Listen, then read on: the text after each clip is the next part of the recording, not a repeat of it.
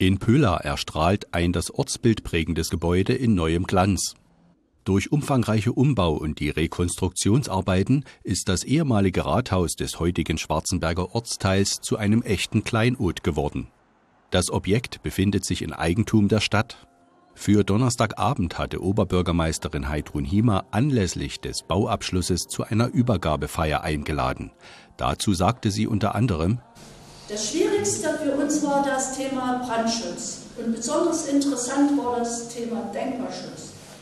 Immer wieder wurden wir begleitet von Dr. Lorenz vom Landesamt für Denkmalpflege. Viele historische Befunde wurden wieder sichtbar gemacht. Sie sehen diese im Bereich der Wände hier im Saal und auch vom Treppenhaus. Hier ist also nichts vergessen worden, sondern was Sie hier sehen, sind Befunde. Wir werden das auch entsprechend noch beschriften.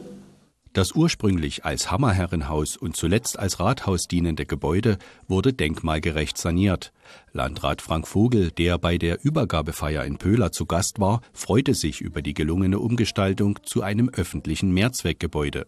Und ein Haus kann nur erhalten werden, wenn ich Leben hineinbringe, wenn ich Menschen hineinbringe, die dieses Haus auch achten und ehren und die es auch entsprechend auch pflegen und äh, dort auch entsprechend nutzen. Und das ist mit diesem Konzept hier hervorragend gelungen.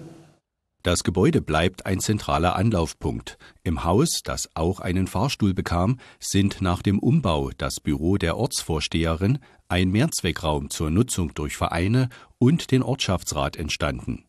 Eingemietet sind ein Arzt, eine Zahnärztin sowie eine Physiotherapie.